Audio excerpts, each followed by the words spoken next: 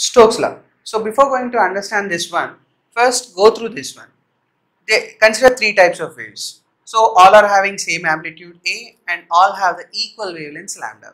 Then how can we tell the difference between all the waves? So like this. Since it is starting with the, there is only one difference called phase difference. All the three waves are having a phase difference. So this consider this wave, this is starting from an angle of 0 degrees and this is starting with the 180 degrees. So this is the phase. So the phase difference between these two waves are, can be known as uh, 180 degrees. And since consider this one, it is starting from 90 degrees. The phase difference between wave A and wave C is 90 degrees. And the relation between A and B or the path difference and the phase difference is pi. 2 pi is equals to lambda where lambda is the wavelength 2 pi is the total angle. So if it is completed one cycle of operation then it is completing an angle of 360 degrees. So then this portion can be considered as the wavelength. So wavelength can be written as 2 pi or pi equals to lambda by 2. So these are the two things that we are supposed to remember. And now Stokes law. So when a light ray is reflecting from the surface of a denser medium, suppose if you incident a light ray like this, this is angle of incidence made by the incident light ray with the normal. Some part will get refracted and some part will be reflected. So this is also angle of incidence I, where angle of incidence is equals to angle of reflection.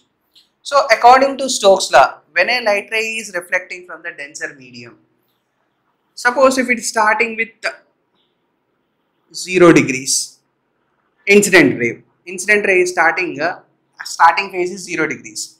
Then according to Stokes law, the reflected light is having a phase change of 180 degrees or pi degrees. So this is your reflected light. So according to Stokes law, when a light ray is reflecting from the surface of a denser medium, then the reflected ray undergoes a phase change of pi degrees with compa when compared to the incident light ray or a path difference of lambda by 2.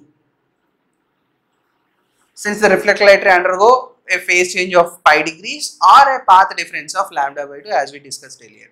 But in the case of denser medium to rarer medium, that means if a light ray is reflecting from the surface of a rarer medium, there is no phase change and there is no path difference. That means